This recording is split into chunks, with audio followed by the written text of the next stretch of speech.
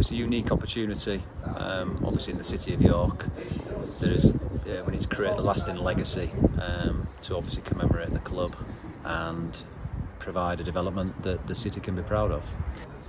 Uh, we've gone through an extensive consultation process, uh, very detailed planning process as well, working with the likes of Historic England, involving the Supporters Trust and a number of consultees. There will be part of the stand which will be retained, and along with that, there will be a memorial garden. And this scheme will provide 93 much needed new homes, a full mix of one, two, three, and four bedroom apartments, um, houses, and townhouses, along with 19 affordable homes which will be transferred to a housing association.